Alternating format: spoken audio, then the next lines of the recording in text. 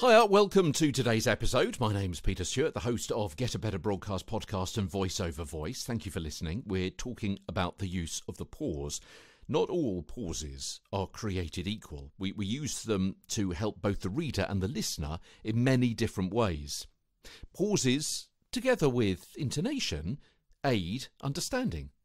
Pauses should be at speech natural places within a script rather than just appearing at random within it like I did then.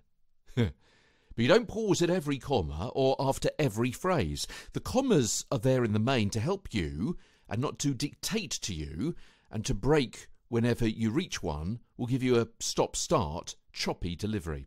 And of course, a comma doesn't indicate the length of a pause. Some reads require a millisecond pause, and others a full beat. There's a full beat there.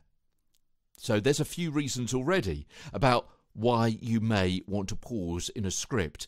We'll come to some more over the next few days as Get a Better Broadcast podcast and Voice Over Voice continues. Now, you may be thinking to yourself, how much more can he say about pauses? Quite a bit, as it turns out, which is why, as I mentioned yesterday, they mean an awful lot. Silence is also speech. From London, I'm Peter Stewart. Bop.